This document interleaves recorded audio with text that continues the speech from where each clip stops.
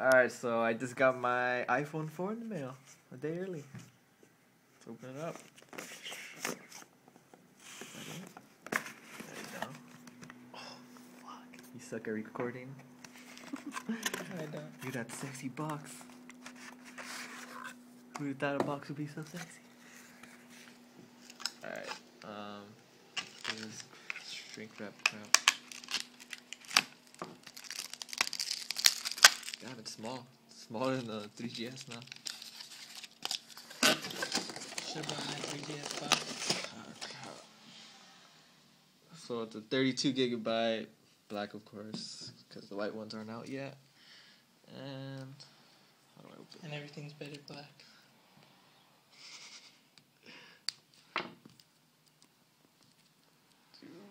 Uh. I messed up the box already. There you go.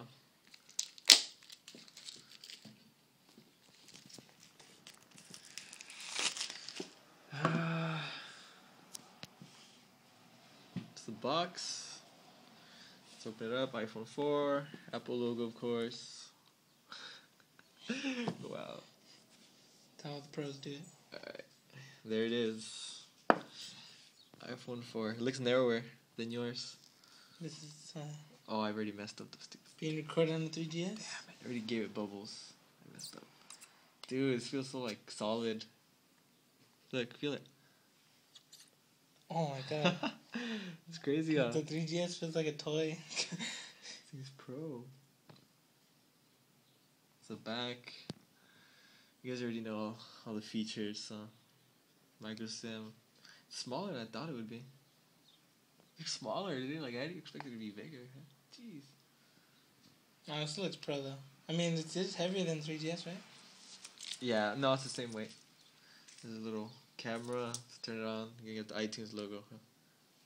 Check it out. It's gonna be iTunes logo. There's a Retina display. LED, 5 megapixel camera. If you don't, you fail. These buttons are small, dude. They click nicely though. Let me see. The mute button, it's different too. Did it shake? What? No, it doesn't. It's not on yet. It is. I think I'm dirty in that too. There's the iTunes logo. It's in the box. There's what's close. Alright, it's white. I wonder why they made it white.